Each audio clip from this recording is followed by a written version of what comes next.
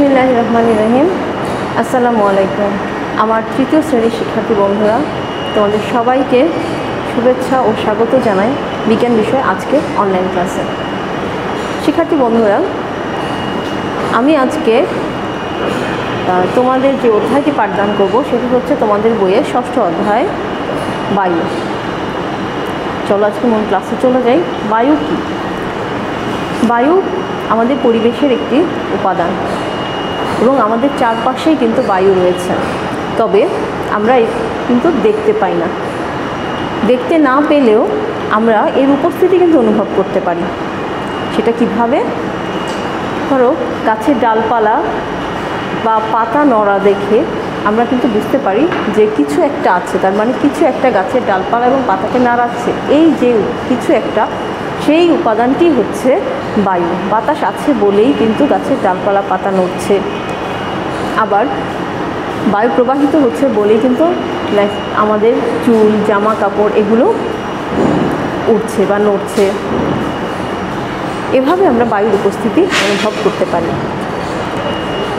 তোমরা আরও খেয়াল করে দেখো তো কীভাবে তোমরা নিজেরাও বের করতে পারবে যে বায়ুর উপস্থিতি অনুভব করার আর কী কী প্রমাণ রয়েছে বা কীভাবে আমরা বায়ুর উপস্থিতি বুঝতে পারি।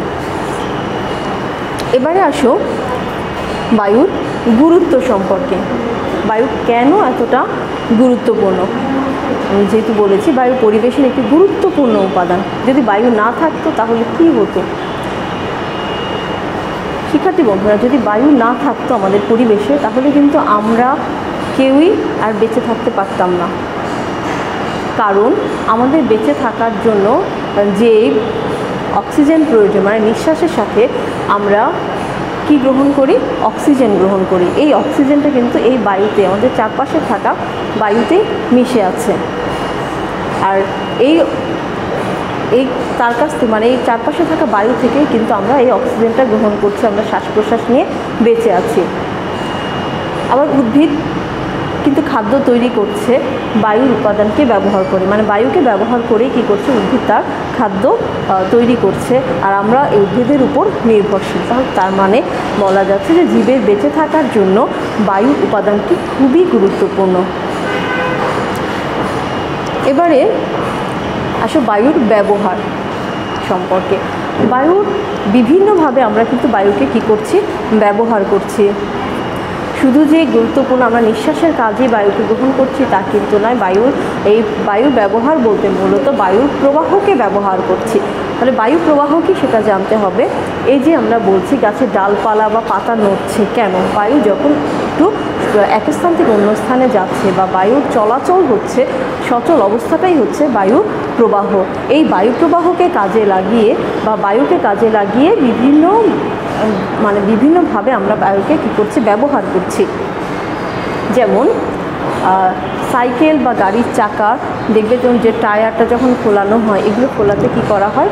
বায়ু ব্যবহার করা হয় মানে পাম্প করে বায়ুকে ব্যবহার করা হয়। এমনকি ফুটবলের ভেতরে আমরা যে বল খেলি বা তোমরা যে তোমাদের বাসা বাড়িতে অনেকেরই বাসা বাসা বাড়িতে ছোটো, বড় বিভিন্ন সাইজের বল আছে।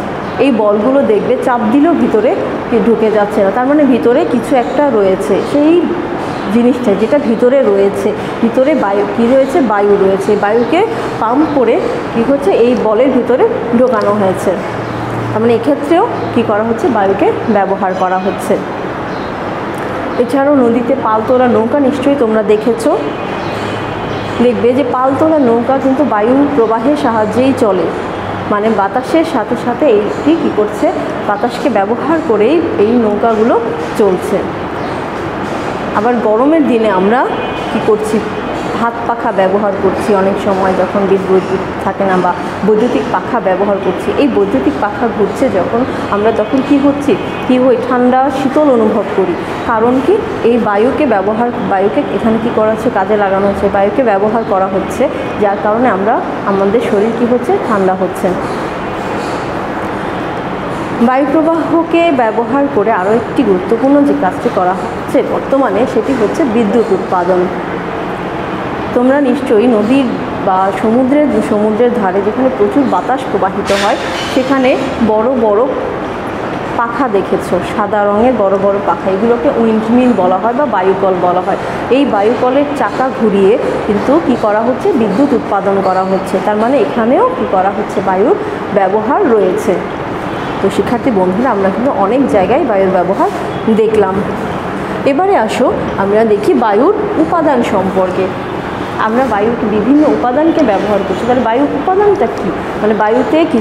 বায়ুতে মিশে থাকা যে সকল গ্যাস রয়েছে, গ্যাস, ধূলিকণা, এগুলোই কিন্তু বায়ুর উপাদান। তাহলে উল্লেখযোগ্য বায়ু কী কী রয়েছে? যেমন বায়ুতে রয়েছে অক্সিজেন, কার্বন ডাইঅক্সাইড, নাইট্রোজেন, জলীয় বাষ্প। আমরা আগুন জ্বালাতে আমি, দেখি যে আগুন জ্বালাতে একটি উপাদান ব্যবহার করা হয় বা কাজে লাগে বায়ুর একটি উপাদান। বায়ু ছাড়া আগুন জ্বলে না। তার মানে বায়ুতে এমন একটি উপাদান রয়েছে যা আগুন জ্বালাতে সাহায্য করে। তাহলে সেই উপাদানটি কি? সেই উপাদানটি হচ্ছে অক্সিজেন। আবার বায়ুতে এমন আরও একটি উপাদান রয়েছে যেটা কি করছে? আগুন নেভাতে সাহায্য করছে। যদি, তার মানে সেই উপাদানটি হচ্ছে কি? কার্বন ডাইঅক্সাইড এই কার্বন ডাইঅক্সাইড যদি বায়ুতে না থাকতো, তাহলে কি হতো? কোথাও আগুন লাগলে সব কিছু যখন জ্বলে পুড়ে শেষ হয়ে যেত। আমাদের এই সুন্দর পৃথিবীটা থাকতো না। কারণ একবার যদি আগুন জ্বলতো, তাহলে আর নেভানো সম্ভব হতো না। তবে কিন্তু বায়ুতে এই কার্বন ডাইঅক্সাইড নামক উপাদানটি আছে বলেই কি হচ্ছে? আগুন নিভে নিভানো সম্ভব হচ্ছে। এছাড়াও বায়ুতে আরও গুরুত্বপূর্ণ একটি উপাদান রয়েছে, নাইট্রোজেন এবং কিছু অংশ রয়েছে জলীয় বাষ্প। এছাড়াও আরও আরও অন্যান্য অংশ অল্প পরিমাণে, আরও অন্যান্য কিছু উপাদান অল্প পরিমাণে থাকে। তাহলে আমরা মোট কোন চারটি মূল উপাদান পেলাম? বায়ুর কী কী? অক্সিজেন, কার্বন ডাইঅক্সাইড, নাইট্রোজেন, জলীয় বাষ্প। এবারে আসো আমরা বায়ুর বিভিন্ন উপাদান। আমরা যে উপাদানগুলো বললাম, দেখলাম, সেই উপাদানে কিছু উপাদানের ব্যবহার আমরা দেখি। কারণ আমাদের দৈনন্দিন জীবনে আমরা কিন্তু এ সকল উপাদানকে ব্যবহার করছি আর হামেশাই ব্যবহার করছি। যেমন অক্সিজেন নামক এই উপাদানটি এই উপাদানটি আমাদের কোন কোন ক্ষেত্রে ব্যবহার হচ্ছে, আমাদের বেঁচে থাকার জন্য কিন্তু খুবই গুরুত্বপূর্ণ এই উপাদান। কারণ উদ্ভিদ খাদ্য তৈরির সময় বায়ুতে এই অক্সিজেনটা ছেড়ে দেয় আমরা জানি এবং কার্বন ডাইঅক্সাইডকে গ্রহণ করে, আর অক্সিজেন ছেড়ে দেয়। আর এই অক্সিজেন আমরা প্রাণীরা কি করছি, আমাদের শ্বাস গ্রহণে, আমাদের বেঁচে থাকার জন্য আমরা নিঃশ্বাস, আমরা প্রশ্বাসের সাথে কি করছি, গ্রহণ করছি। তার মানে আমাদের বেঁচে থাকার বেঁচে থাকার জন্য আমরা এই অক্সিজেনের উপরে নির্ভরশীল। আবার হাঁপানি বা শ্বাসকষ্টের রোগীকে সরাসরি কী করতে হয়? অক্সিজেন দেওয়া হয়। মানে হাসপাতালে হাসপাতালে অক্সিজেন, সিলিন্ডারের মাধ্যমে রোগীদেরকে অক্সিজেন দেওয়া হয়। এমনকি পর্বত আরোহীরা যারা আছে, তারা কিন্তু অক্সিজেন সিলিন্ডার বহন করে নিয়ে যায়। এমন এছাড়াও ডুবুরিরাও কিন্তু অক্সিজেন সিলিন্ডার দেখবে তোমরা খেয়াল করে যে পিঠে অক্সিজেন সিলিন্ডার নিয়ে কিন্তু তারা পানির মধ্যে নামে। এক্ষেত্রেও অক্সিজেনের ব্যবহার রয়েছে। আর অক্সিজেনের আরেকটি বড় ব্যবহার কিন্তু আমরা কিছুক্ষণ আগে আমি বলেছি যেটা, সেটা হচ্ছে অক্সিজেন আগুন জ্বালাতে সাহায্য করে। তুমি এখন যদি একটি কাঠি দিয়ে, ম্যাচের কাঠি দিয়ে আগুন জ্বালাও, তার মানে আগুনটি জ্বলবে বায়ুতে থাকা এই অক্সিজেন উপাদানের জন্যই। তার মানে আমরা অক্সিজেনের কয়েকটি ব্যবহার দেখলাম। এবারে আসো কার্বন ডাইঅক্সাইড নামক উপাদানটি কোন কোন ক্ষেত্রে ব্যবহার করা হয়? উদ্ভিদ খাদ্য তৈরির সময় কার্বন ডাইঅক্সাইড ব্যবহার করে, যার উপর আমরা প্রাণীরা প্রত্যক্ষ বা পরোক্ষভাবে নির্ভরশীল। এটি একটি বড় ব্যবহার।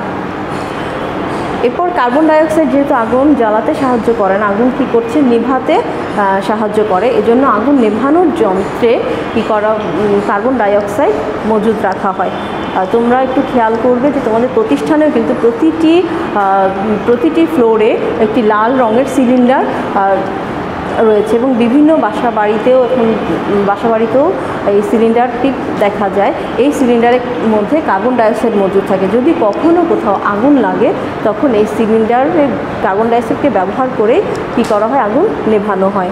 আমরা আগুন নেভাতে কী করা হচ্ছে? কার্বন ডাইঅক্সাইড ব্যবহার করা হচ্ছে।